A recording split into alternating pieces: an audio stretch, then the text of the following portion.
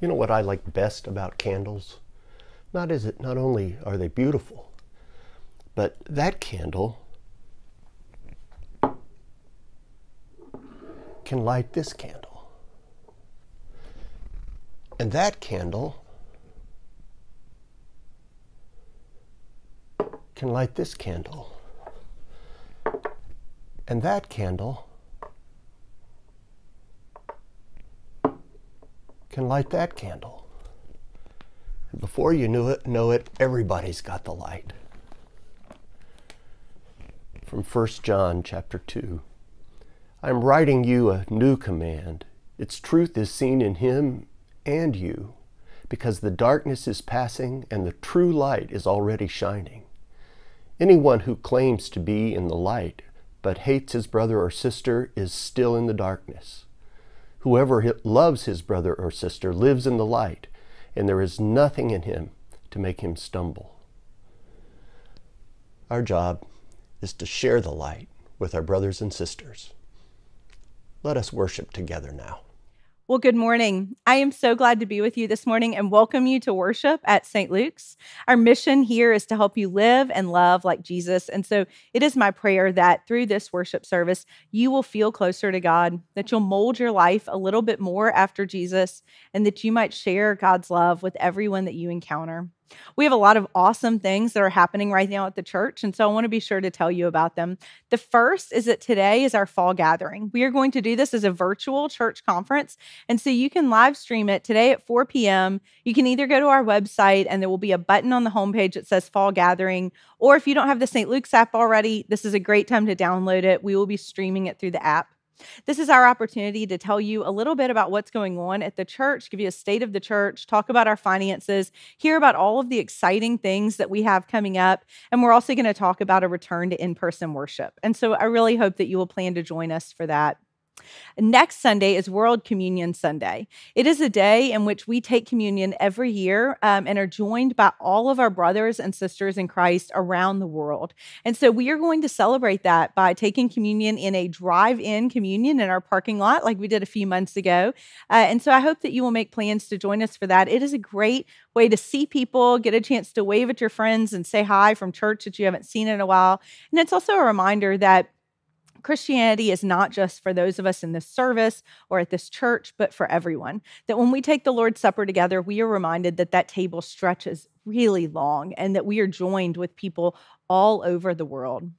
So, next month, we also have a bunch of women's events coming up that we are so excited about. It's called the Month of Revive. If your soul is feeling depleted, you might be like me and you might be looking for a way to revive it. And uh, we have an awesome calendar of things that you can do. So, they range from in depth spiritual discussions to a book club. We're going to do a, a uh, service project with an in person consecration worship. We have some uh, workshops like art and flower arranging and Revolution Wellness, and we have a keynote and Q and A from the New York Times best-selling author Melanie Shankle. And so, all of these events are free. It's a great way to invite your friends to do something with you during this time. I hope that you will go on our website. Uh, there is information on the screen right now and in the chat with how you can find out more and register for those events. And then finally, if you have been visiting St. Luke's for a while and you just want to find out what this is all about, if you want to become a member of this church or if you just want to learn more about it, I hope you'll join us for coffee with the pastor that's next Sunday afternoon. There is information on the screen and in the chat uh, with a way for you to register. But this is a great opportunity to learn more about the church, meet some of the staff. We do this virtually, and we would love to welcome you as a member to St. Luke's. I'm so grateful to the Serenas and the Pichos for sharing that story with us one of the greatest parts of my job is that I get to witness all of the friendships that are made and forged here at St. Luke's. There's something about studying together and praying together and volunteering together that I think just binds our hearts to one another in a deeper way. And I hope that you've experienced that blessing of friendship at St. Luke's. We have a lot of ways that you can get involved if that is something that you are looking to deepen. And I hope you'll just reach out to me and let me know. And I'd be so glad to chat with you about how you can do that. Now, today's scripture text is about friendship as well. It's from 1 Samuel 18, verses 1 through 5, about the friendship between David and Jonathan. Please listen as I read. When David had finished speaking to Saul, the soul of Jonathan was bound to the soul of David, and Jonathan loved him as his own soul. Saul took him that day and would not let him return to his father's house. Then Jonathan made a covenant with David because he loved him as his own soul. Jonathan stripped himself of the robe that he was wearing and gave it to David, and his armor, and even his sword, and his bow, and his belt. David went out and was successful wherever Saul sent him. As a result, Saul set him over the army, and all the people, even the servants of Saul, approved. This is the word of God for us, the people of God. Thanks be to God. Let's pray together. Gracious God, you alone are worthy of our praise. And so we have come to worship this morning, not only to hear words that transform us, but to be filled with your grace and your hope.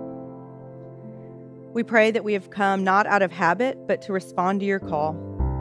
We pray that that will take us away from the easy, familiar path that we like so much because we know that you have called us to lay aside everything that distracts us and to follow you into service to others. And you've invited us to draw other people into service so that we might work side by side to redeem your creation. Let us be a balm to those who are hurting, giving comfort through our words and through our presence. Let us bring peace to those who are anxious by sharing your goodness and love with them and by sharing their burden. Give us eyes to see where justice and compassion may be offered. We lift up now the names of those who weigh heavy on our hearts and pray that you would show us how we can be like Christ to them.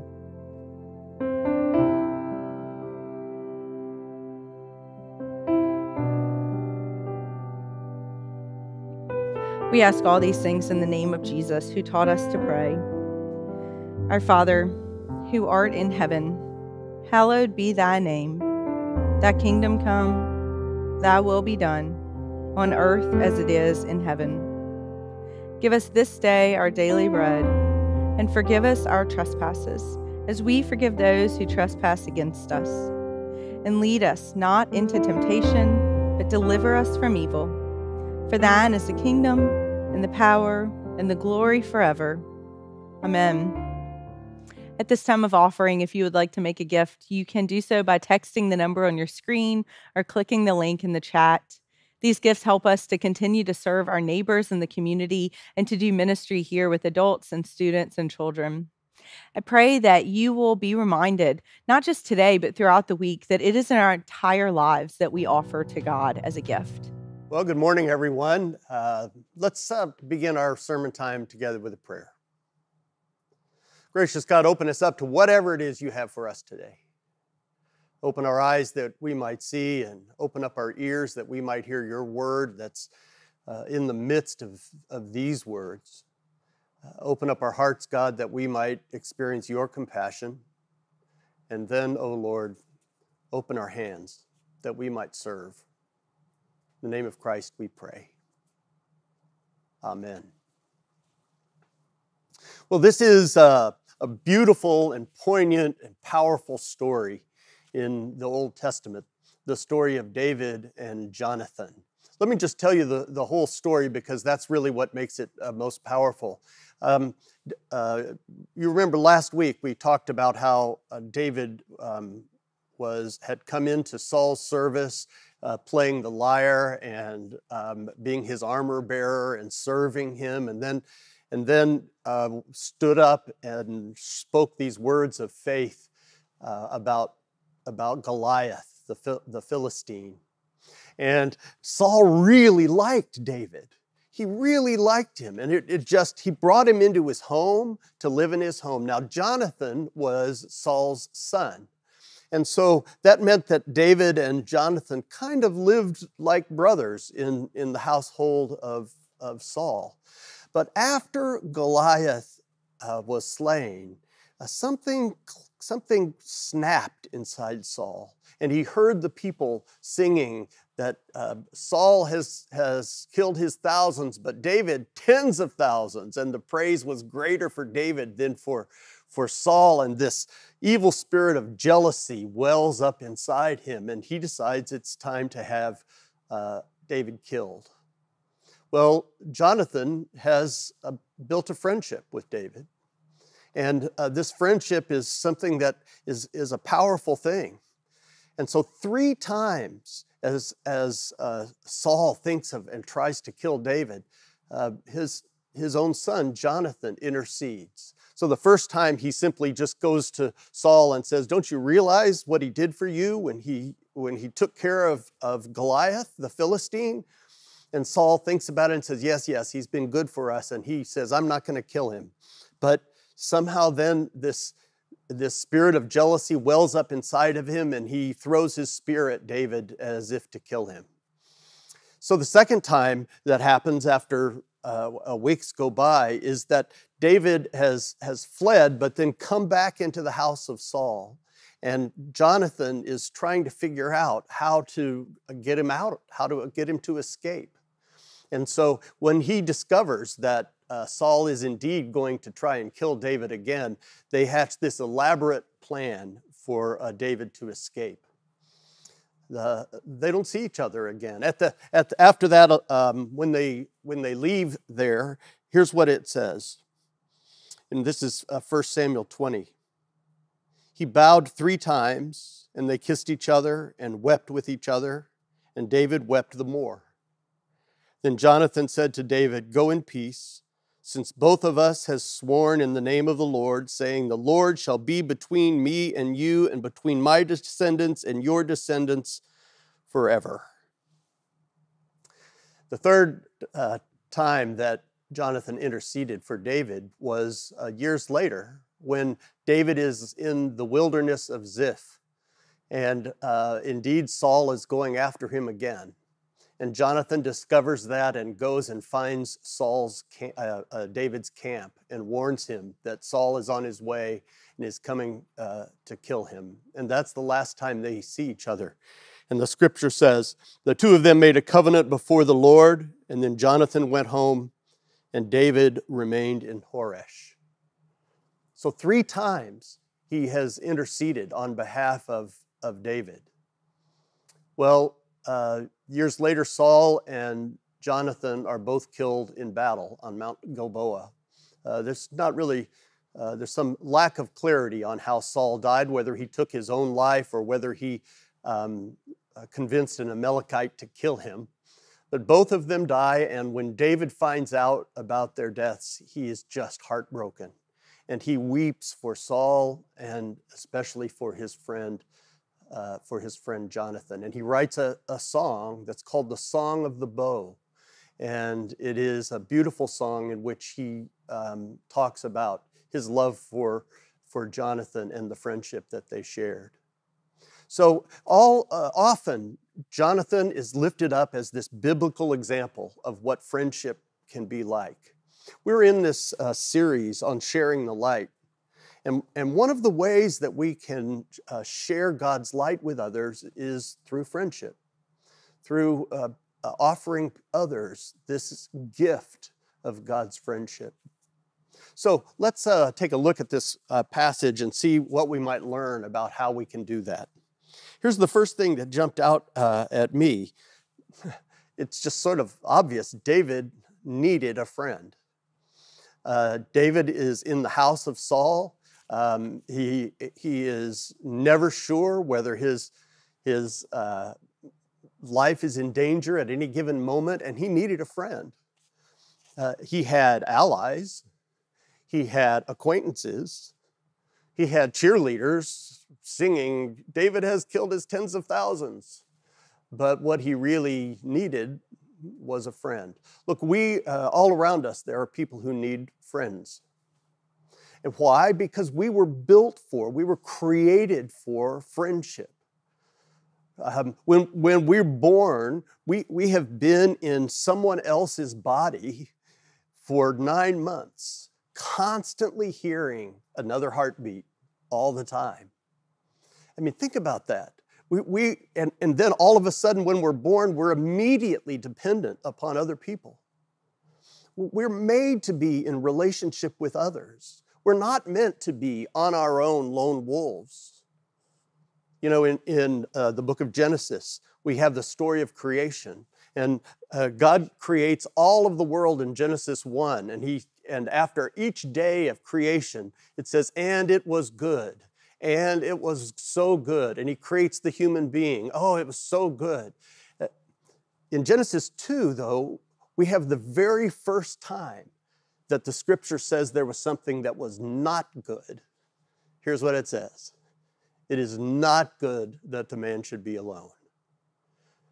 Right? We were not meant to be alone. Now, often people think about this as about marriage or about having a spouse, about man and woman, and it's there. I'm not saying it's not there.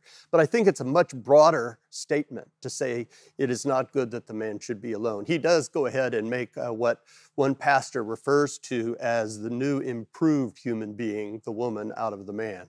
But uh, I think it's really a, about the whole point of the story is that we're created to be in relationship in, in friendship. And we're living in a time when people are having fewer and fewer friends. And there is a, an emptiness in so many people's lives because of that lack of friendship. A few years ago in the United Kingdom, a woman named Sue Bourne put out a documentary called The Age of Loneliness. You've probably heard for many years people talking about the age of anxiety, that we live in the age of anxiety.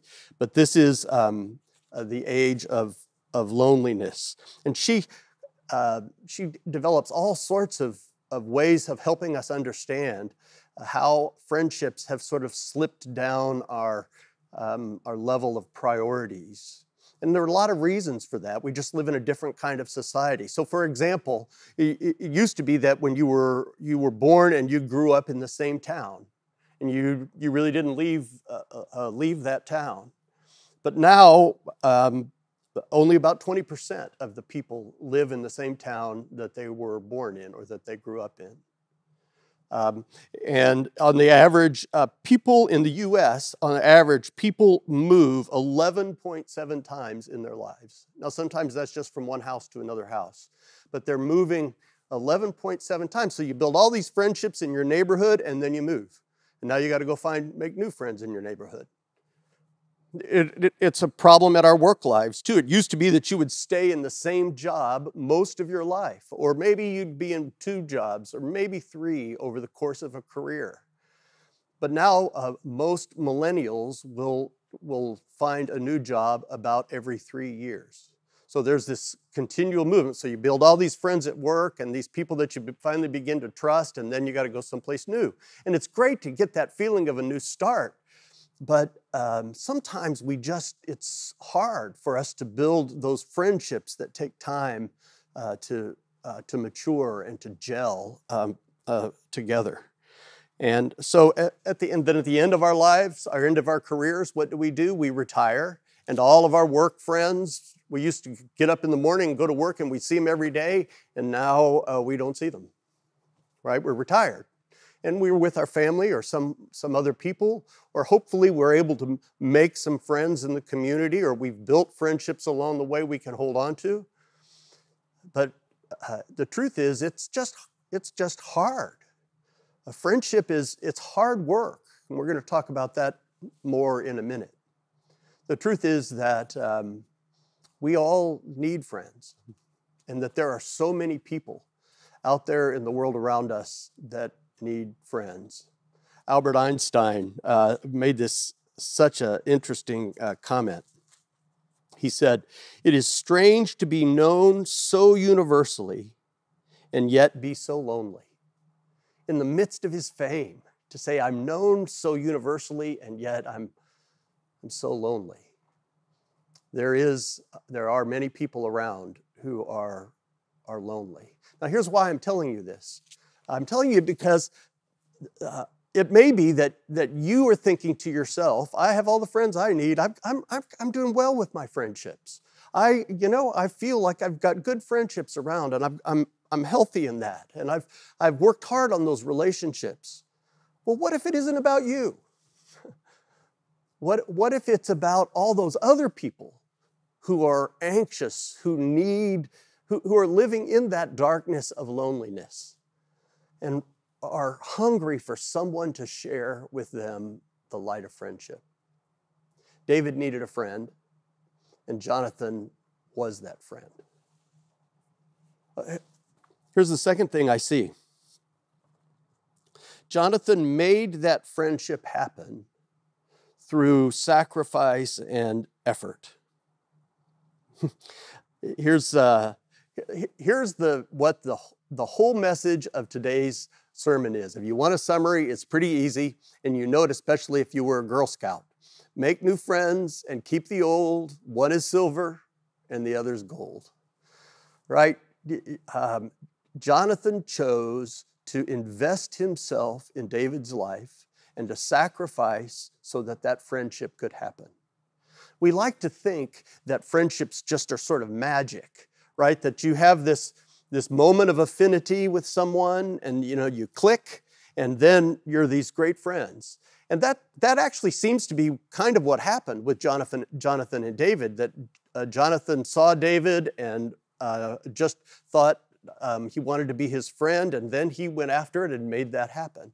But when you read the scripture, what you see is this, is this investment of himself, this sacrifice of his own, his own needs, um, these risks that he's willing to take in order to, to forge this friendship with, uh, with David. I'm going to listen, listen to uh, what the scripture itself says. Jonathan stripped himself of the robe he was wearing sort of his position in the kingdom, and gave it to David and his armor and even his sword and his bow and his belt. He, he took all of his, the, the instruments of his life, all of the uh, status that he had, and conferred it on, um, on David. He invested himself. Now, what is it we have to invest? Well, first we have to make a sacrifice of time right? Uh, for friendship to really happen, we have to spend the time investing in that. So, uh, Rick Warren was talking about friendship, and I got tickled. He said, You know what it means when someone says, Well, I'll be there in spirit. I can't be there actually, but I'm going to be with you in spirit. Here's what it means, he said it means nothing. It means nothing. He said, if you, if you say, and people say this to me all the time, if you say you don't have time for friendship, then you don't have enough time. Then, then you, you don't have time for a life that's fulfilling and significant because that's what God's given us as friendships, being fulfilling and, and significant. It means that we have to have a, a, sacrifice of the heart. Here's why a lot of the times that we choose not to make friends because uh, we don't want to put ourselves out there. We're afraid that either we'll get hurt by somebody, they won't want to be our friend after all, or that we won't like them and, um, and they'll be too needy, or we think we're not going to be a good friend to them and we're going to let them down. And so rather than risk that, um, those perils of intimacy, we just say, I'm going to be self sufficient. And you know, I've got the friends that I have, and those are, those are really stable friendships. And I, I can trust that I'm, I'm, none of these things are going to happen. They're not going to hurt me, and I'm not going to hurt them. And, and I can be comfortable in those. So I'm not going to take that risk to step out there into this uh, uh, risky new uh, relationship. And um, again, here's, here's what that means it means that you, you are not able to carry the light of friendship into the people's lives around you uh, who need that, that light of, of friendship. So, too often we're just afraid, afraid to uh, do the work uh, to take that risk. Here's the third thing I see in this Jonathan sustained that friendship through uh, against all these odds um, through covenant. Remember um, what I said the basic theme of today's sermon is make new friends and keep the old. So not only do we have to make a new friendship, but, but we have to continue to invest in the friendships we do have um, and, and to con- continue to renew that uh, through, through covenant. Here's what, here's what the uh, uh, scripture says. The two, this is in when in the wilderness of Ziph. So uh, the years have gone by. Uh, they made a covenant with one another um, when when Jonathan helped David escape. And now, they're now the years have gone by, and, and David is, uh, Jonathan is warning David in the wilderness of Ziph. And at the end of it, the last time they see each other, the two of them made a covenant before the Lord. And then Jonathan went home, but David remained at Horesh. They made a covenant. They renewed the covenant that they'd made. You know, um, the scripture in uh, uh, Proverbs 17 17 says, A friend loves at all times. And I, have looked up the word there for all in Hebrew, and it means all, all the time. That there is a constancy to friendship that is able to uh, survive the ups and downs that come in life over the years, and, and that those friendships uh, are maintained. Um, last week I went to see a friend. We've been friends for 25 years, and now he's very sick and uh, is in hospice care at home and um, is having difficulty getting up off the couch. And uh, well, we sat and talked for an hour and, um, and, until he was just worn out, I'm sure. And we laughed and we talked about important things and we remembered things we'd been through together and um, uh, things he'd done for me, and um, I thanked him for those, and he thanked me for things he uh, I'd done for him. And there was just this, um, there was just this sense of connection with one another that had been tempered over all of the years. And the truth is, there would be some years we never spoke to each other. We, we, it wasn't like we, you know, emailed back and forth every day. But but the strength of that friendship was so powerful and, and beautiful. Uh, there's, a, there's a word, I think, for it in Scripture, and that word is love. Right? There's, there's, there's something powerful about that bond that can withstand um, all of the ups and downs of, of the years.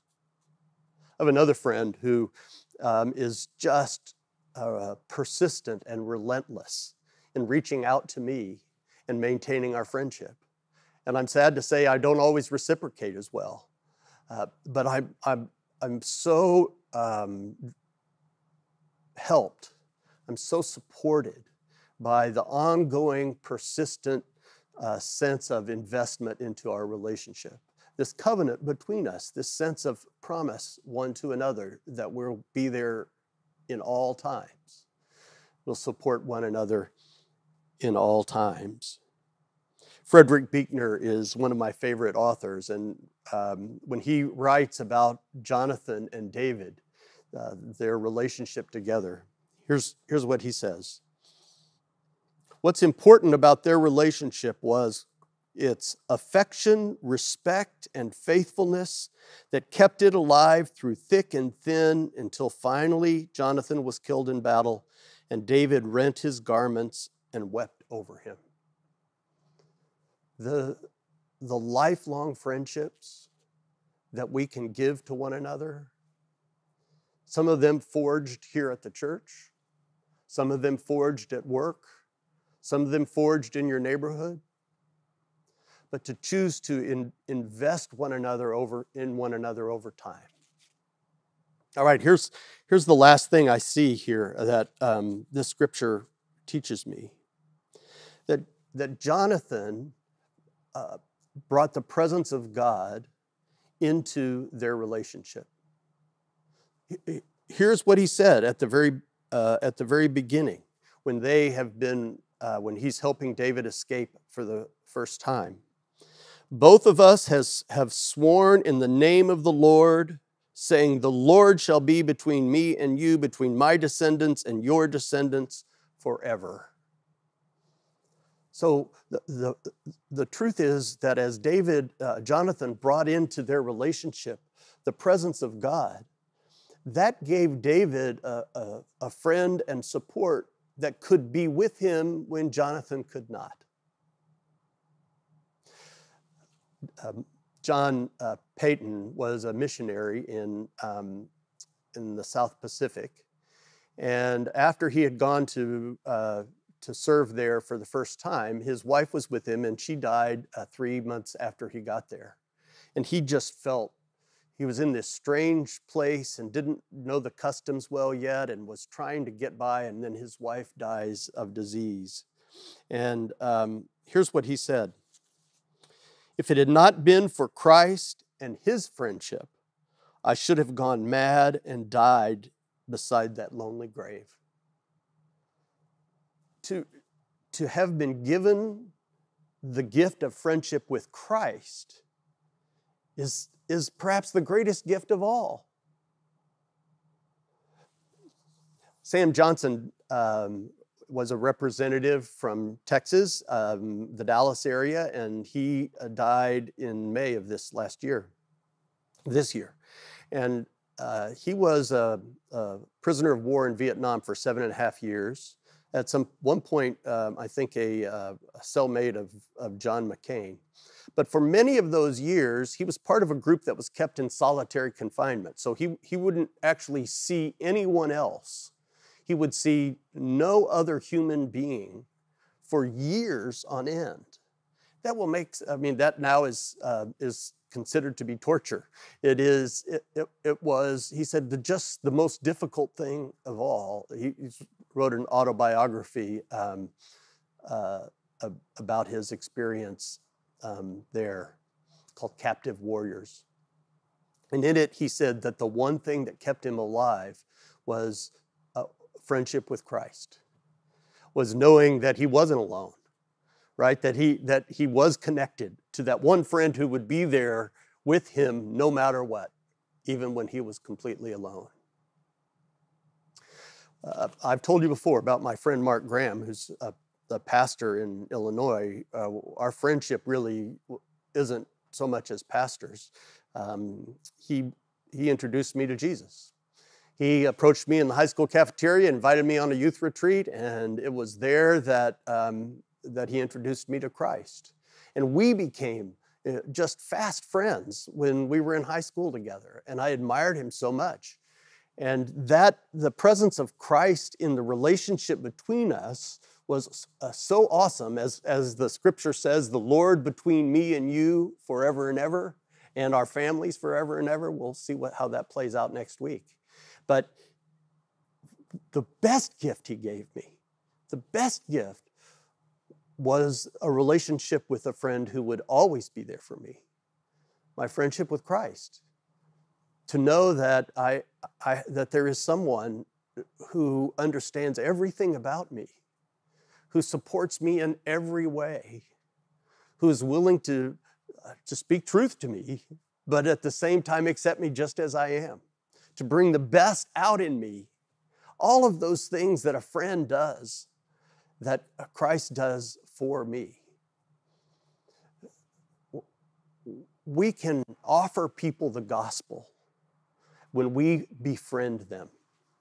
When we make a friend uh, I, I always like to say that friendship is the portal through which the gospel is passed. Well, let me just uh, let me just close uh, uh, with this. Sometimes when I do a memorial service, I'll be meeting with the family, and they'll say something like, "I say, well, is there anyone else other than me as the pastor that you'd like to speak?" And I, I bet a few, maybe more than half of the people would like to have someone else speak. And sometimes people will say, Yes, we have 27 friends that would like to speak at the service. Uh, I'm using hyperbole there. It's never 27, but there's sometimes a lot of them. And uh, my initial reaction is, Oh, come on. I mean, how many different things are they going to say?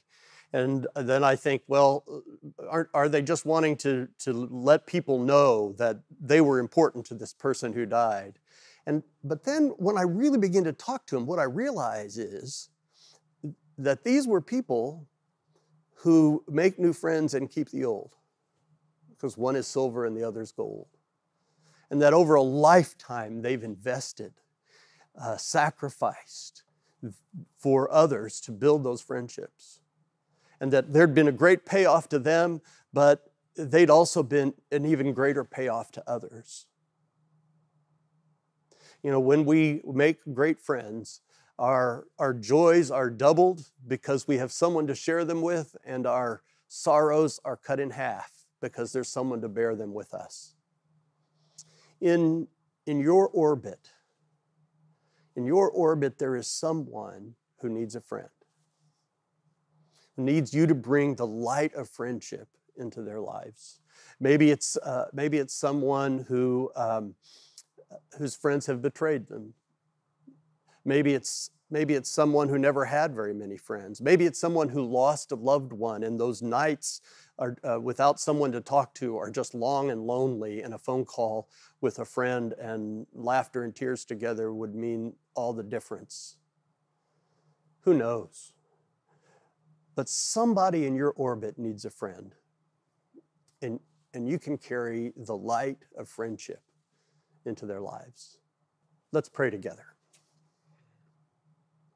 Gracious God, um, we thank you for the friends that you've put into our lives, for the people who have made sacrifices to be our friends, and the joy that we have in being to offer ourselves to others. God, we know that, that those friendships sometimes bring pain into our lives as we lose people we love. But God, there's nothing more significant, and we thank you so much that you've given us that gift of friendship. Show us the people around us who need, need us to be their friends, that we might share with them the light of friendship. In the name of Christ we pray. Amen. So, the benediction that I offer to y'all each week comes from Paul's letter to the Second Corinthians. It's chapter 13, verse 14. And I love this even in this season because Paul writes letters to his communities that he can't be with to send him his love and um, all of his hopes and his prayers. And so, I feel like right now, even as we are not together, I hope that you will receive this benediction and know that it comes with a lot of hopes and love and prayer for all of you. So, receive this benediction. May the grace of the Lord Jesus Christ, the love of God, and the fellowship of the Holy Spirit be with you now and always. Amen.